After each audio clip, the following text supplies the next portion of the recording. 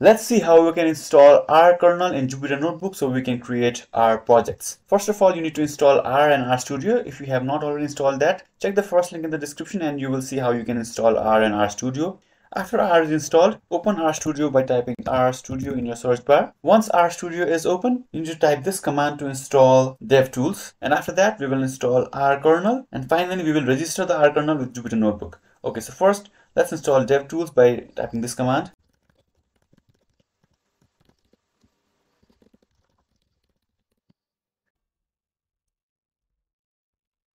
Once DevTools is installed, we need to install R kernel. So to do that, type this command. So now we have installed R kernel. So let's register it so that we can use it in Jupyter Notebook. And now this is the final command.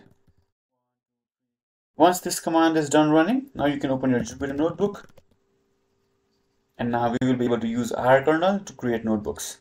Let's see if it works or not. You can click on this new and as you can see you are seeing this R kernel. Click on R and your new notebook will, will open and in this notebook you can create R projects. If you have any questions let me know in the comments below.